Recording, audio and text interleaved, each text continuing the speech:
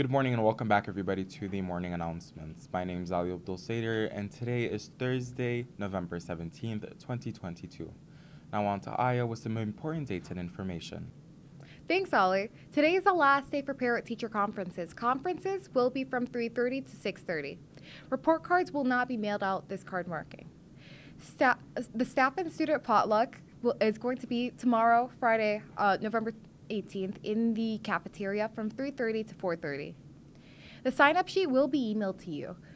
Um, entrance is free if you bring a dish. Otherwise, it will cost $3 to enter.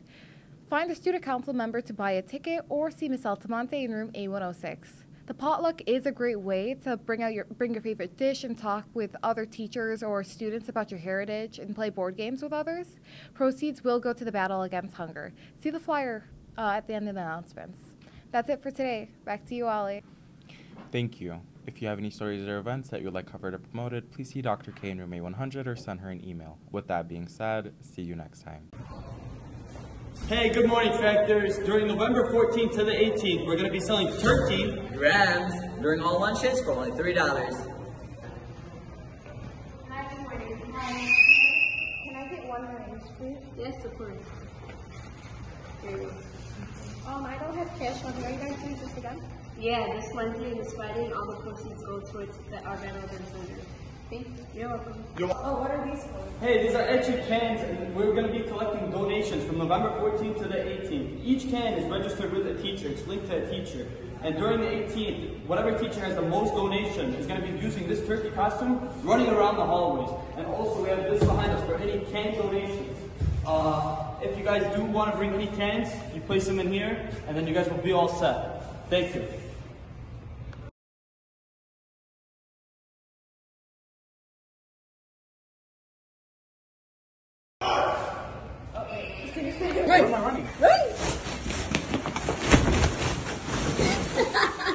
Oh, what are these for? Uh, these are etchy the cans.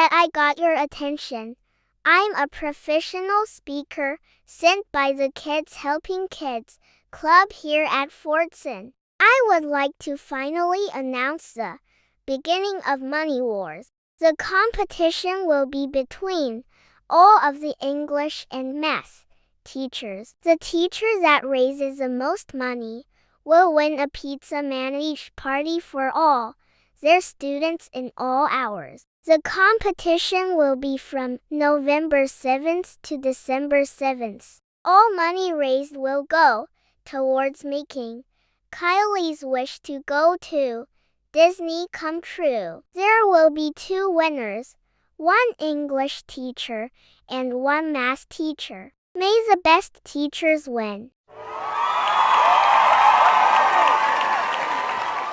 This week's Gen Z word is the word slay.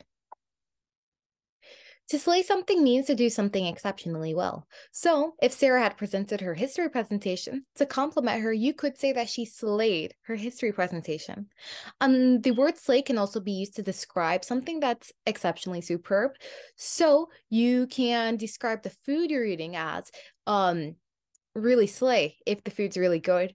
Or if somebody's asking you how you're feeling, you could say that you feel slay, as long as if you feel good, you know?